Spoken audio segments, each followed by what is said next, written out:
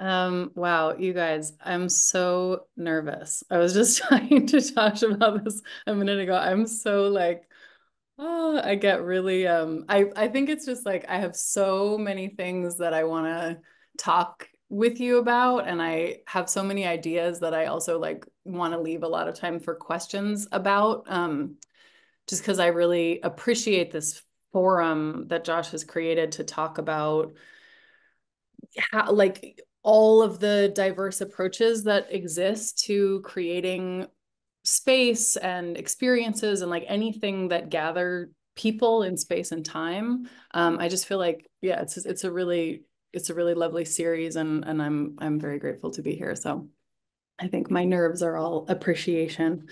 Um, so just by way of introduction, Thank you, Josh. Uh, my name is Annie Saunders. I make live experiences, largely site-specific live experiences, so things that respond to the place that they are. Um, I'll talk a little bit about my work and show you guys some examples, but just as a sort of overview, some of them take the shape of things that look like theatrical productions or like um, immersive interactive theater.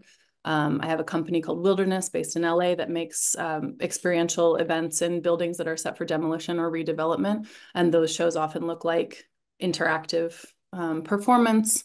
Um, the work also often looks like installations that people walk through uh, with interactive light and sound that responds to what, what they're doing. And then I also make works for public space, um, the majority of which are headphone walks that are activated by GPS and time of day. Um, so basically like sitting between performance practice, um, new technologies, public art, um, and like happenings, which is why I kind of wanted to talk today um, about the work, but also about kind of the essential principles that I see that constitute something feeling live. Because um, I think something that like it feels like we have in common in this forum is like an interest in creating things that um, yeah that gather gather people in space and time. Um, and so i want to talk about those five elements. But firstly i would like to also uh, share um, one like generative practice that i do in my work often in like responding to a place or um, uh, a, a space or a place, I will say, especially when we're dealing as we are today with two spaces at once. So we're in a virtual space together, but we're also all in a physical space, right? Um, so I want to just try something with you guys. Uh, if you will just take a moment um, to take a look around the physical space that you're in.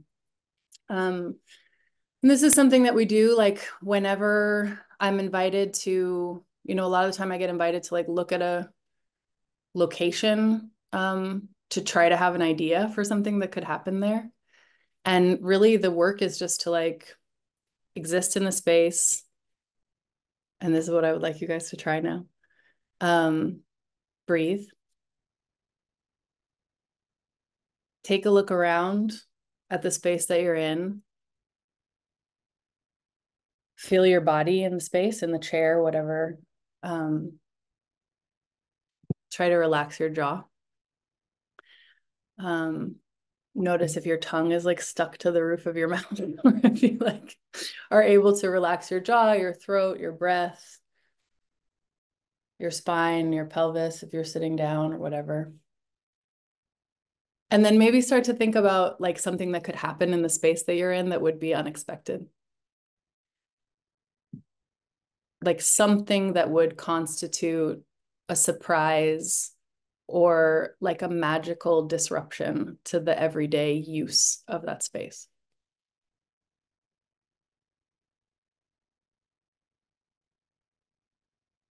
And this is something that feels really important to me just as like a life exercise, but also in experience making and in particular when we're talking about the intersection of technology and live art that we are often asking people to be in two places at once. So we're often asking them to experience a virtual space and a physical space. And sometimes we create the physical space and the virtual space, and sometimes we don't, right? Sometimes they're in their own home and our content constitutes a second space but that audience member that experiencer that user whoever it is they still have a body their body is somewhere you know um, and it really matters where like what it really matters to them what is physically happening.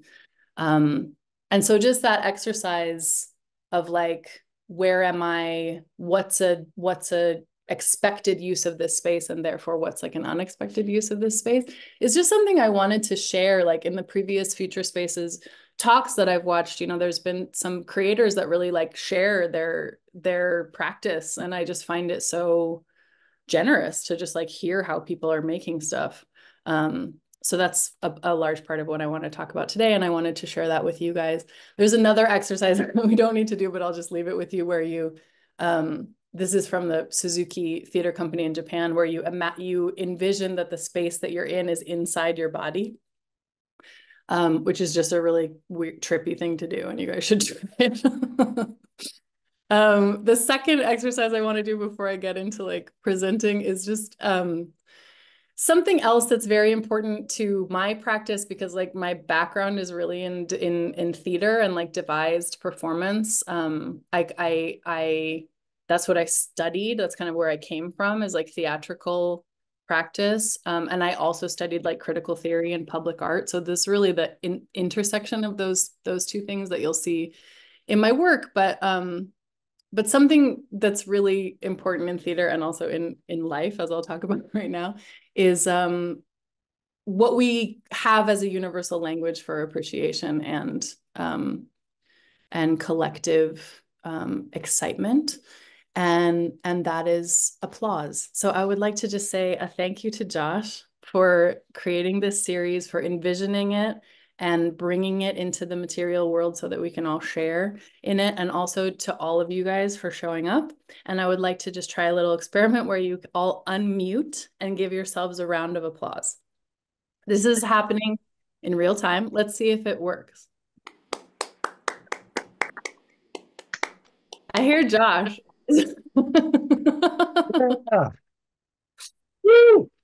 Okay, uh, cool. There's so a lot of unmuted people. Are there I'm people? It's so net. It's so interesting. This is like a real live Zoom experiment, you guys, to see if it will like offer I'm us. Seeing, I'm seeing clapping emojis. Amazing. Okay, cool.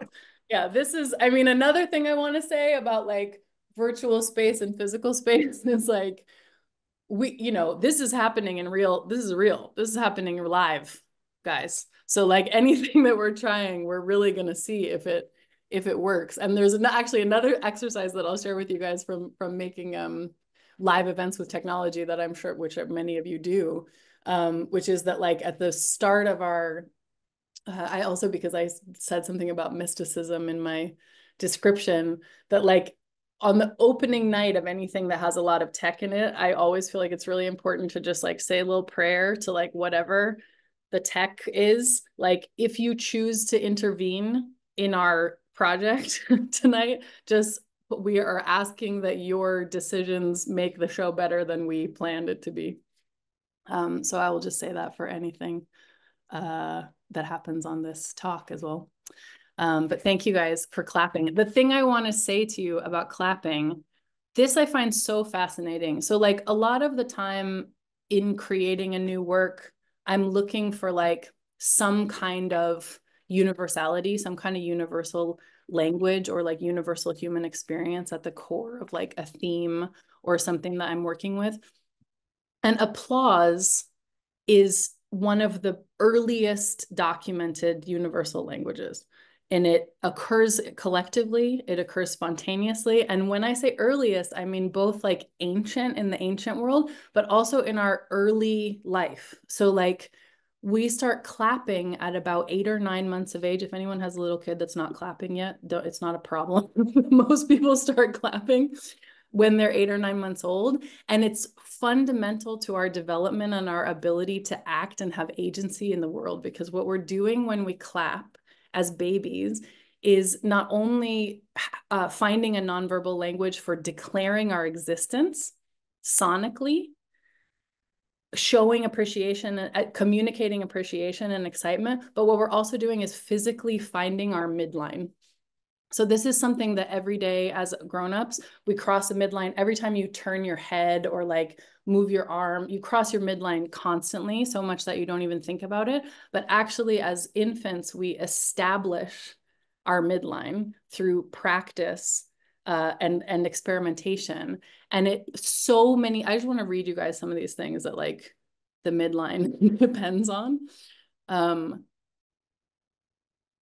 first of all, attention, spatial orientation, coordination, memory, especially spatial memory, planning, especially motor planning, so anything that happens physically, increased confidence and reduced anxiety as a result of finding the mid the finding the midline is like what you guys just did in that exercise where you looked around the space any kind of grounding or centering exercise depends on understanding the existence of the midline it's also the midline between the two sides of our brain right? The conceptual part and the uh, analytical part or whatever. Language development, reading, writing, all of these things depend on the midline.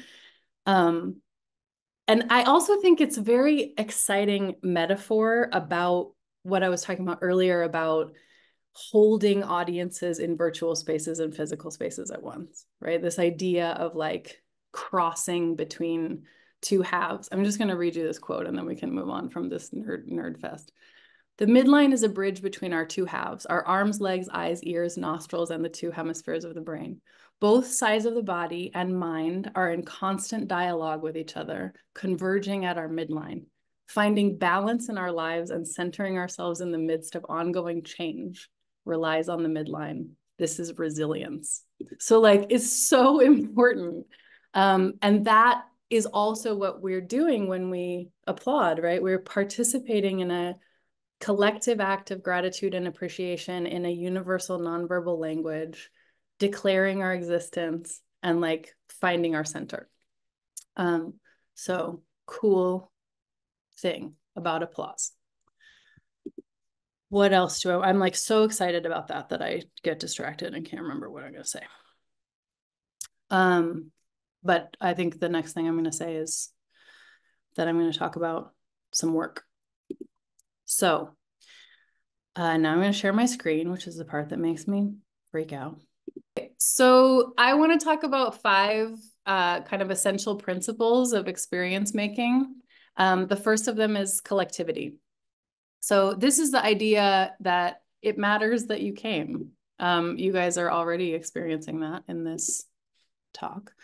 Um, this is something that's really important to me in my work that there's some feeling of the audience member that there that there's a moment in the work where um, there's some kind of sensation of interactivity or something that's that declares like it matters that you that matters that you in particular showed up at this particular time um, so that's something that we don't get when like, you know, we're watching Netflix or something, right? Like the medium itself doesn't uh, care if we're there or not. Um, so that's something that I find to be like an essential uh, quality of liveness. What you're seeing in these images, just to talk a little bit about the work, on the left, this is a um, headphone show I made for a, a, band called In the Valley Below who wanted to do a, a immersive theater show for their album launch. So they um, we used silent disco people walked through a house and saw like different rooms with different action that was all synced to the to their album. Um, and then on the left, this is a show called The Big Chase that I made for ASICS, um, where they wanted a bunch of running um, urban fitness influencers to take a run in downtown LA and have something really unexpected and wild happen to them. So I made this kind of detective noir show that happened um, in different locations that were five miles apart. Um, uh, with like 30 performers in eight different buildings and they all came together at the end in this abandoned cinema in downtown LA and all the people had to run to like complete the show. Um, so that's collectivity. Now it wants to move my slides around as opposed to let me show them. Um, how about this mode? Does this work? Great. Oh my God. Okay. Second principle I want to talk about is synchronicity. So the idea that we are all together at the same time, pretty basic, right? But this is like, again, something I think that comes from theater, which is uh, something I thought about a lot, especially during COVID, right? Like what makes something feel live?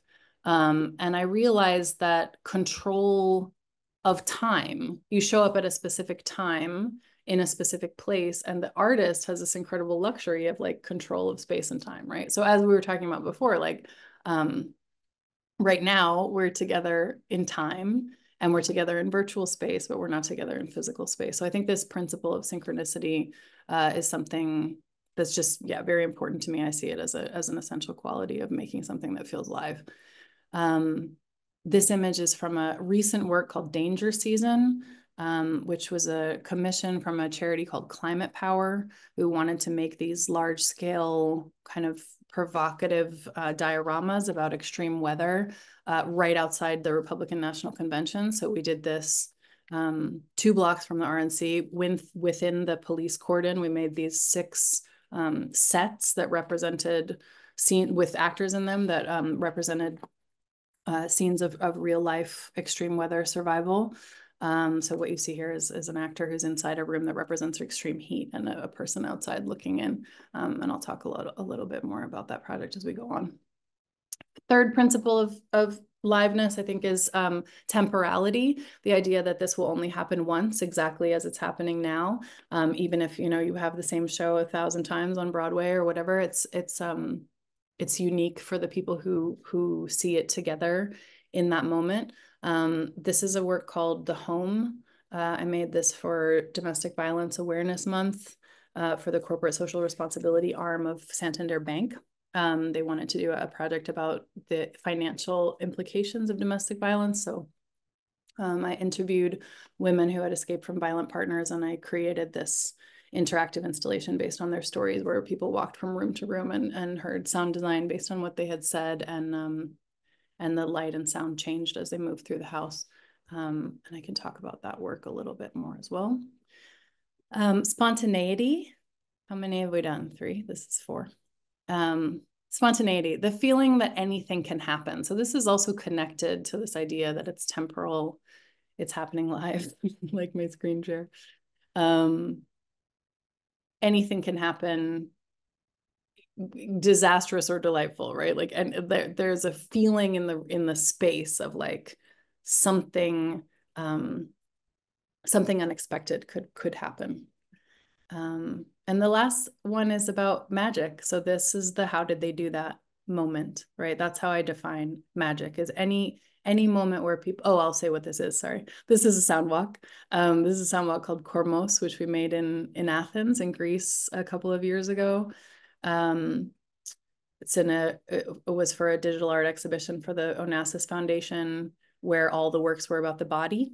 Um, so I made a series of sound walks um, for this public park about the body as a both a, a simultaneously a, a, very private space and a very public space, right? This is what we use to get around in the world. It's how people, it's what people see. Um, but also it's a house that no one will ever look out the window of but us. Um, so this was a trilogy of walks with uh, folks who had um, interviews with people who'd grown up near the park talking about um, themes of the body. Um, so magic. This is the how did they do that? Uh, this is a piece of work called Rest, which um, has a bunch of different multi-platform executions, but um, we made a experimental film of it during COVID um, up at EMPAC in Troy, where we created these kind of sculptures made of light um, uh, to explore how sensory experience informs how we how we create and perceive reality basically. Uh, the creation of reality as a participatory sensory act. Um, but in my work i'm always looking for these for the for for moments to be able to do something. And i think in particular this relates to to the use of technology right? Whenever i'm using technology in a project um, emerging tech or you know whatever that means like using technology or using tools it's eh, often in service of like looking for that how did they do that moment? Um, if i can elicit a how did they do that in myself then i know that i'm kind of on the right track. So let's get into a little more detail about these projects. This is an image from the making of that film just a light just a light being floating in space. Uh, you can find this if you guys want to look at it. It's on um, still on Free the Work, even though Free the Work is on hiatus. Uh, it was a short of the month on there. So here's a little bit more visual of like, I'm just going to talk about these two installations um, and a couple of sound walks, and then I'll have time for you guys to ask questions, which is the part that I'm the most excited about. Um, okay, so we had six windows to deal with at the RNC. Um, the ask was to make something that showed extreme weather um, and also showed the relationship between Republican politicians and oil companies. Um, so I was looking for uh, images that would stop people in their tracks. Um, this is something that, you know, it, I love working in public space because you kind of have that principle of um, of the unexpected uh, just built in because people are not coming to something; they're just on their way to whatever, and you, it's right in their way. Um, so something that I really like to play with in that space is making something look like it maybe should be there. And then when you look again, it shouldn't be there. Um, so I used these LED signs, um, very much inspired by Jenny Holzer, but also like to look at like what's a what's a medium that is like sanctioned with authority already, like something that looks like it could be a uh, shop sign it could be like a government thing could be a fruit. It has all these connotations in our mind where like somebody put that there who who is allowed to put that there right? And then we put content on it like project 2025 written by big oil et cetera et cetera.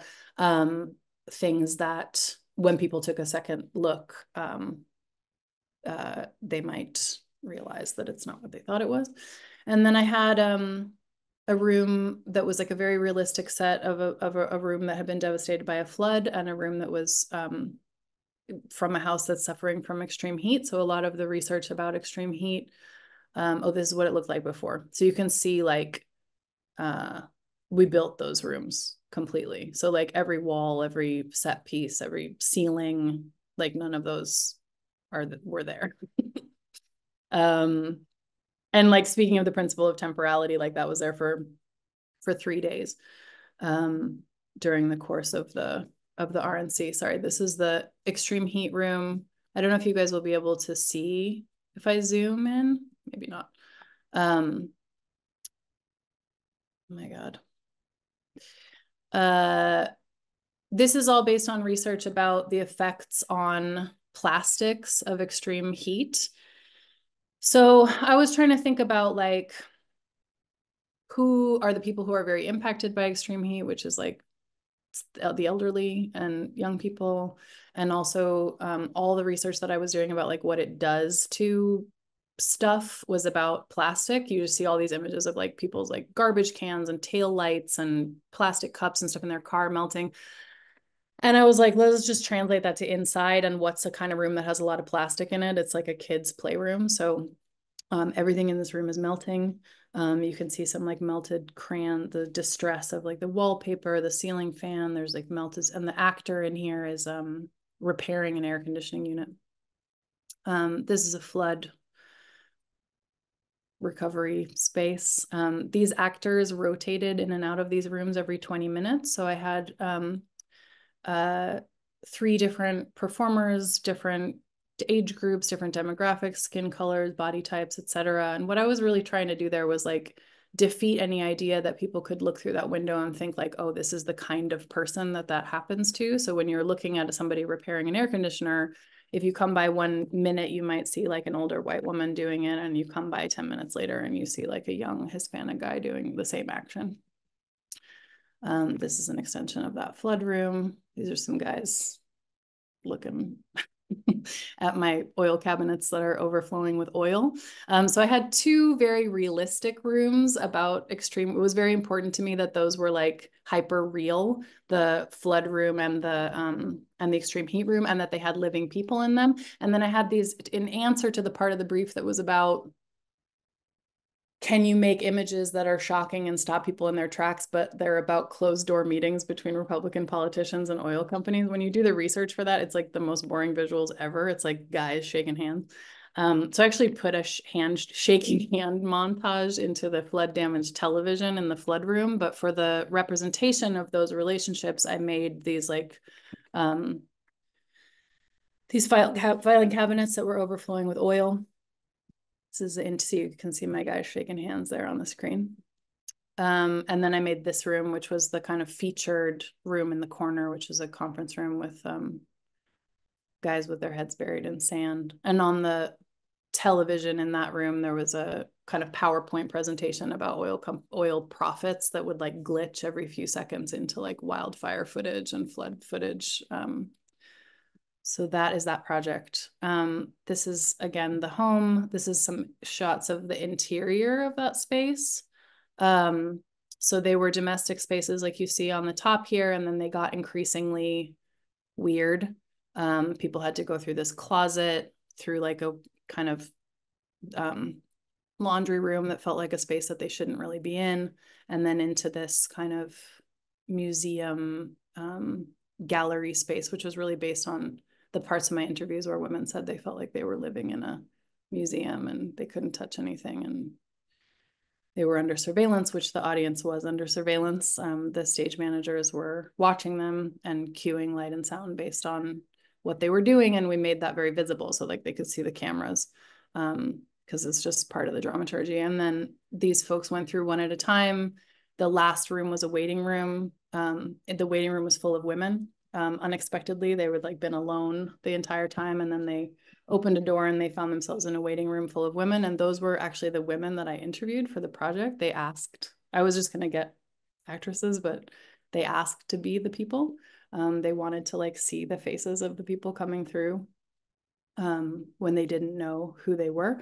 And uh, they just went straight through that waiting room. Somebody took their headphones and they went into a, um, I had four offices with social workers. So they had, each audience member had a conversation with a, a social worker just in case um, they wanted to, because this took place in the Oculus. I didn't want to just like kick them back out into the mall.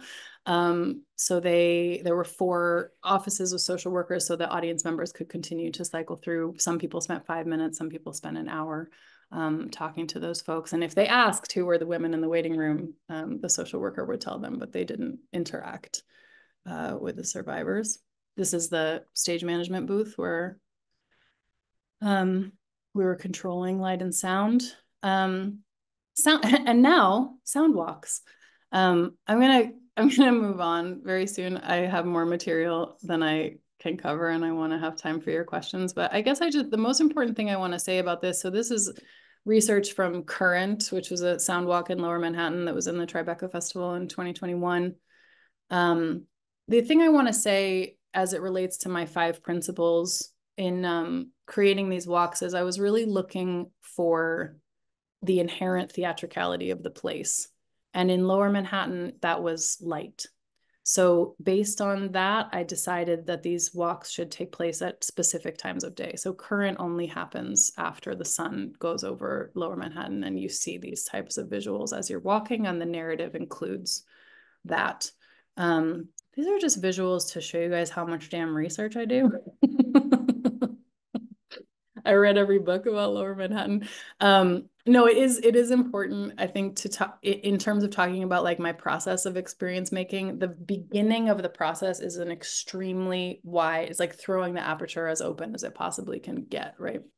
Um, anything that feels like it could be part of something, and this is, I think, like what I want to touch on in closing as well, and almost like I was saying. Um, just gonna like slam through these visuals because what I really want to say about like that wide aperture, this idea of like you have to see something in your mind, like that thing, whatever maybe you guys were imagining as like something that could um exist in the space that you're in that would be surprising or magical or unexpected. This is all like sound walk visual. This is the latest one, which was in Austin and South by Southwest that had 20 performers that like synced with the audio. So it was about the eclipse, and you would hear somebody be like, the convergence of the sun and the moon are doing this or whatever. And it's like whoosh. And then at the whoosh moment, you would see like all these people around you like hug each other at the same time um, and things like that kept kept happening. So that was a really um, joyful thing to make. This is how people access it. Uh, this is our cast. You kind of end up at the top of this hill. This is just like a nice um, film image. Okay, this is what I want to talk about to close. So you guys, just to go back to the clapping thing, You guys remember this person? Or maybe for the hook generation, you remember this person?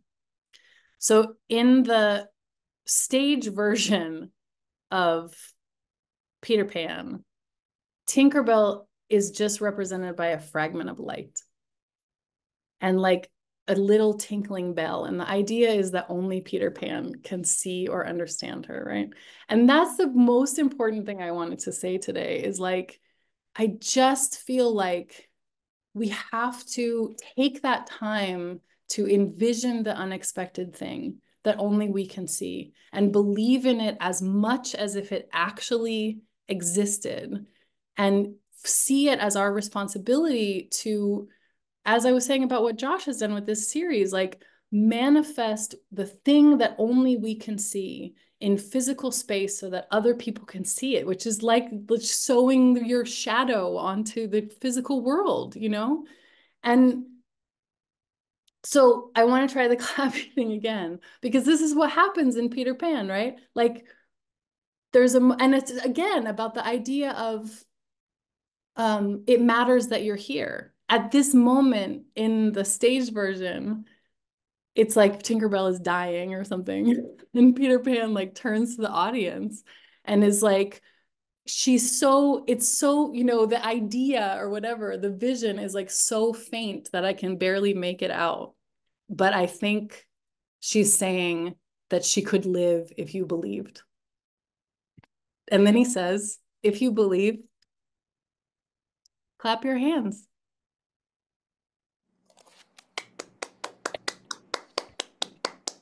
Yay. Thanks you guys. all right Hey, That's thank it. you so much. This is great. Thank great. you. All right. So there's a lot, there's a lot of places where we could talk here. Um, and also, um, put your questions in the chat. I will, I will, uh, I will queue them up. So I, you know, there, there's a few things I was kind of curious about. So like one, I was wondering for like the Oculus project, what um like what did the team look like that put that together? Because I would imagine it's like a sort yeah. of disciplinary team. And like what is your, you know, yeah, how do you how do you interact with that with that team to sort of shape that vision? Thank you for asking that question. Um, so the core team were the production designer uh, who designed the house, the sound designer, and the lighting designer. Uh, followed very shortly by the stage manager who figured out how to cue it. So that's really like, in addition, obviously, to the production company, all the producers, the structural engineer, the build crew, the enormous art department that like put that thing together. Um, that is sort of like the core creative team. Um, so I worked with the production designer to come up with, I mean, I really had like the, the, the conceptual vision for each of those rooms, you know, like I was like, I think it's like, I want to make sure that the exterior looks like you know because the the brief was like make it look like a normal house and i was like super problematic idea What, what's a normal house? So it's a normal house. And also again sort of like i was saying about danger season like we want to ish, issue is that the right idea? Like curb curb the idea that like uh, I know that the audience is going to think like, oh, you're you're we we try to distance ourselves from these things as much as possible, right? So anything that we can pick out, like I don't wear that kind of sweater, so I'm never going to be in an abusive relationship. Anything we can find is like going to distance ourselves. And so I wanted the exterior to look like it came out of a 3D printer. And then I wanted every room to be like interior room, be like a very specific American house. Um, uh, from the beginning until the sort of like surrealist parts that were more metaphorical. So yeah, I worked I worked with a production designer to envision those those rooms. Um, and then and so she was in in the, in the team from the very beginning. Um, uh, and that's her name is Nina Kausa. She's an incredible production designer. Um, theater, film, video game. She also designed uh, a video game for Sam Barlow, who maybe he's here. um, uh, the sound designer Jackie Zoe, also an incredible um, director in her own right. Um, I did the interviews and I edited them, and Jackie and I put them together Um, so you didn't just hear like stories, like podcast style. The voices were also used to uh, um, track the trajectory of what it felt like to go through those experiences. So at some points, the voices were like so overlapped and cacophonous and overwhelming that you couldn't make out what was being said. Like when you were getting compressed into this like little laundry room, for example. Um, so I was doing a lot of audio editing in terms of like the script, and Jackie was doing all the spatialization and sound design and collaborating with me on that. And then Andrew Schneider, who I also um, make the sound walks with, he's a, a, a, frequent collaborator, and we have a sound walk making company now called Point A. Um, but we also work together in a bunch of different capacities. He did the interactive lighting design um, oh. for that for that project, and then um, uh, and then yeah, the st- the stage management team put together like the the the way that they would use like CCTV and um and a lighting. It's, it, it's so fascinating to me because like I you know we do a lot of like interactives and museums and things like that and the idea of having yeah. a manager you know something that like controls the physical space like that's just not a vocabulary that they have in those spaces. Totally. Yeah. Um, and it's just but but i guess it, it makes sense because the point of departure is more theatrical in some ways. Um naf had a question. I want to naf do you want to come on camera and ask that question yourself? Otherwise i can totally um, i'm gonna try uh, there you go. just okay. a moment. Yeah Hi, uh, thank you so much for this, uh, Annie. Uh, because I'm researching uh, liveness and you know the shifting meaning of liveness, oh, whether oh, cool. anything is live at all, uh, yeah, if it is all mediatized. So all these, you know, questions, meta questions. So I was wondering, uh, how have you arrived at these five principles? Because uh, there are a couple of authors who are also who have kind of pointed out different meanings of live but it's mm. interesting mm. uh, on the temporality aspect of things, uh, how you kind of dissected it from uh, from the spontaneity. So it, you've kind of dissected them, which was pretty cool.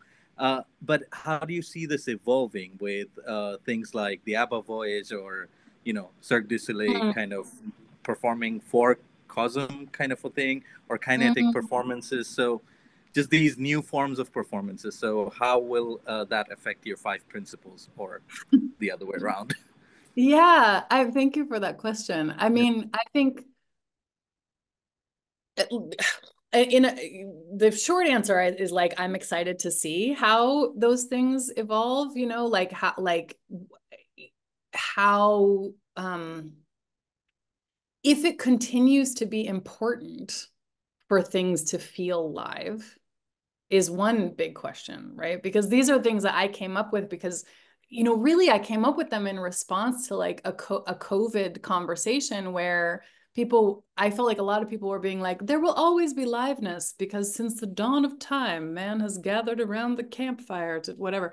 And I was like I really felt like guys we're going to have to do better than that.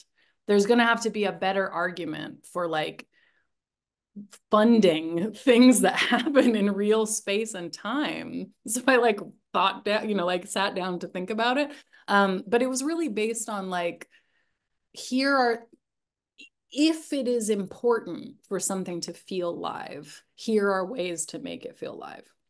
So I think in answer to your question, if it continues to feel important for things to feel live, then I hope that this can be, as you say, among the tools um, for people trying to do that.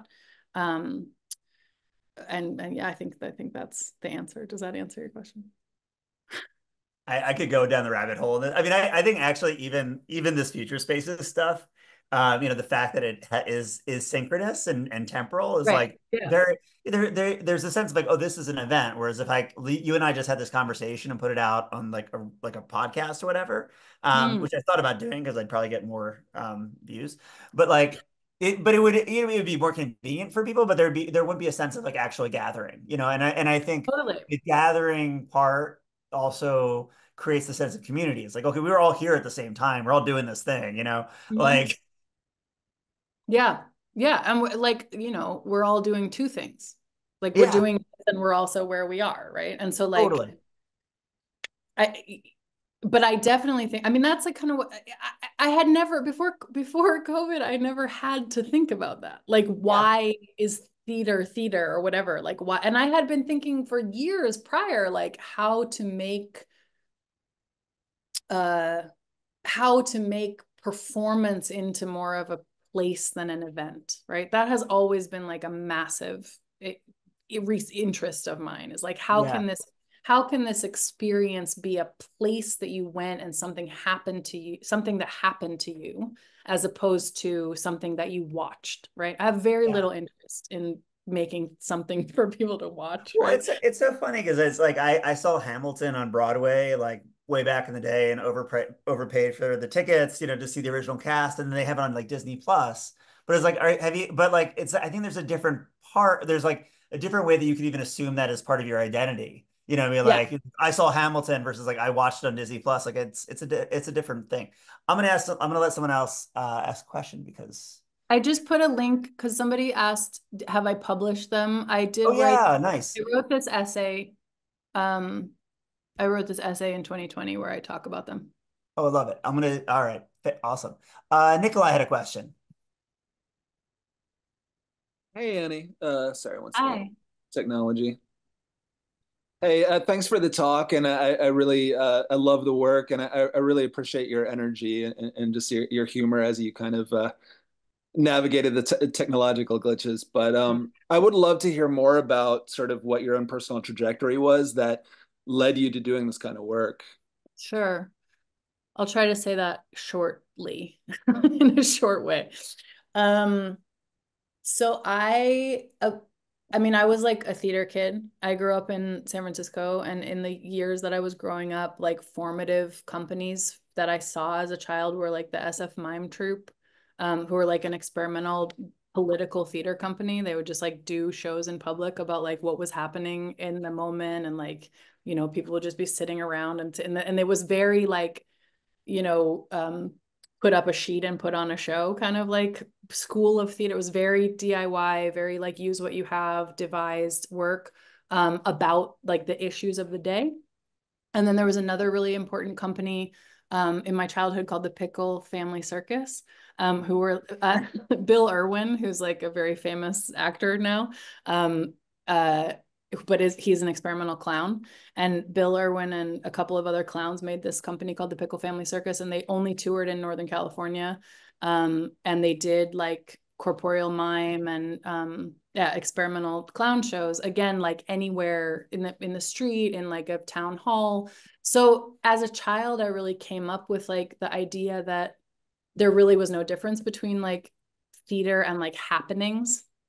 So that kind of thing about like spontaneity, collectivity, the unexpected was like really ingrained. Um, but also like physical performance and making it up and using what you have and just like doing it yourself um, was very ingrained in me. And then uh, when I was like 18, um, I met Eve Ensler, who wrote the Vagina Monologues, and she was doing a thing where she was giving away the rights to her work for anyone who wanted to do their own production of anything she had written to um, raise money for charities that work to end violence against women.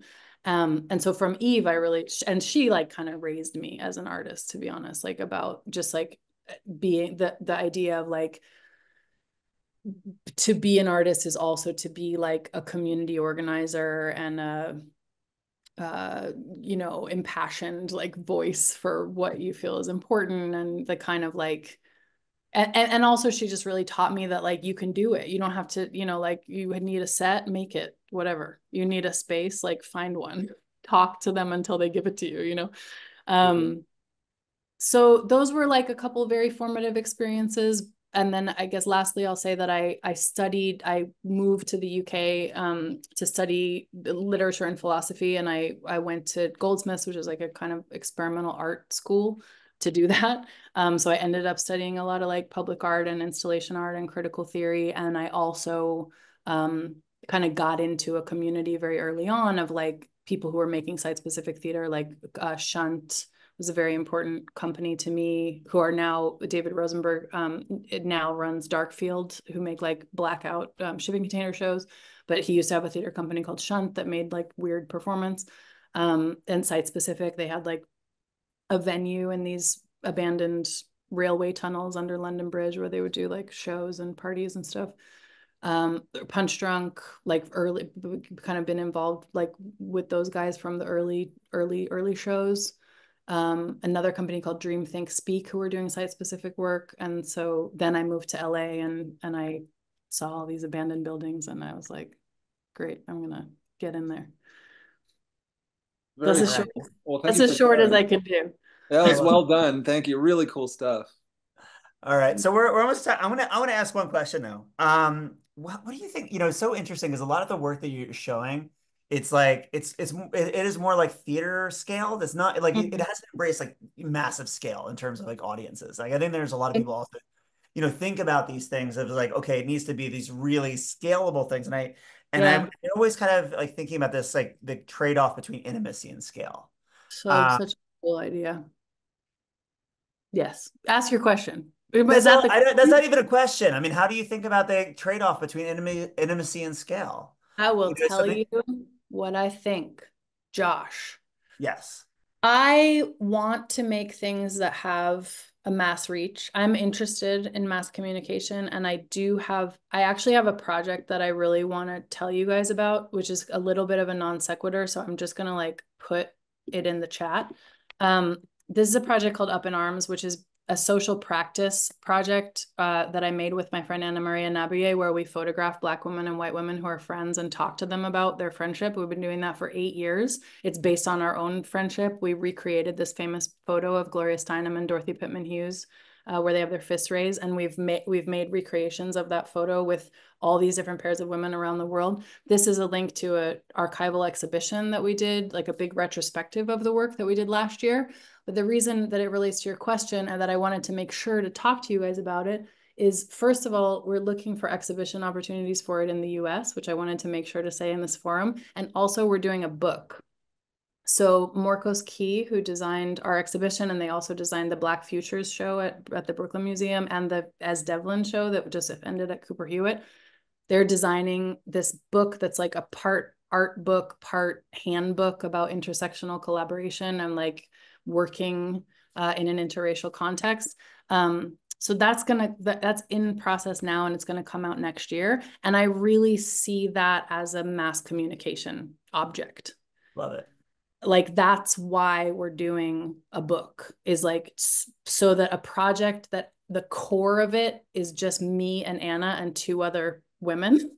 That's like the when we see the pairs, we just it's the four of us in the room but we wanted to make sure that ultimately there would be an artifact that would have a mass communication reach that would like come from the artwork so that we could share. But the last thing I want to say about intimacy versus scale, was that what you said? Yeah, yeah. So for me, and I'm and I make this argument a lot because I work with brands and people talk about like why should we spend our money on making an experiential thing rather than like a TV spot? And what I say is like, you can make a TV spot and you can like lightly brush 60 million people or whatever, right?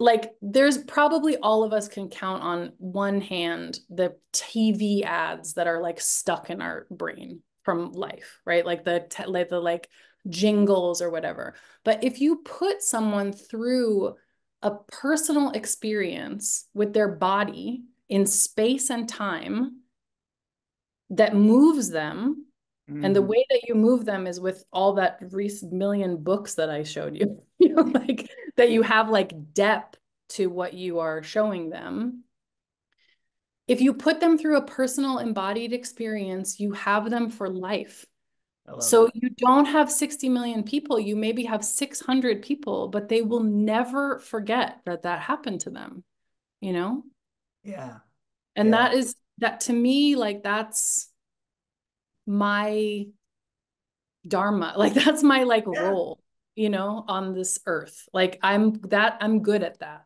you know? Yeah. Um and so mass communication is important to me but i i'm i'm in my lane you know? Intimacy i love it. I love it, I love it. my lane well, that's fantastic. Well, Annie, thanks so much for being here today. This was a super, super interesting presentation. I love the conversation. I mean, I could keep going. Um, but you know, you you uh, you talked about this new project, but is there anything else you sort of like want to kind of put out there to the community? Uh, you know, re release into the world. I mean, that's that really like that is my at the at this precise moment I have I have multiple projects in development but what I what I really wanted to make sure about like upcoming work to say was um was that we're working on this book for Up in Arms and that we're looking to tour the exhibition and particularly in the US um and I just wanted to say that to you guys and I'm just going to put my email in the chat cuz if and I'll share I'll share all these links also in an email to, to everybody who attended stuff like that. Yeah. Um, you, but yeah, this is this is fantastic, Annie. Thanks, thanks so much for joining. I really appreciate it. Thank you, Josh. It's really nice to see you, and thanks, sir, everyone, for listening. Yeah, and uh, thanks everyone for joining. I was going to say I'm going to be gone the next two weeks. I'm going to be in New York, and then I'm going to Copenhagen. So if anyone has restaurant recommendations in Copenhagen, I'll I'll be in weird time zones. Uh, but then I'll be coming back. And we got a whole bunch of uh, new talks coming up, some really exciting stuff. So I hope you guys can join me. Um, again, Annie, thanks so much. Thanks everybody for joining. We'll uh, we'll circle back soon. Bye. Bye.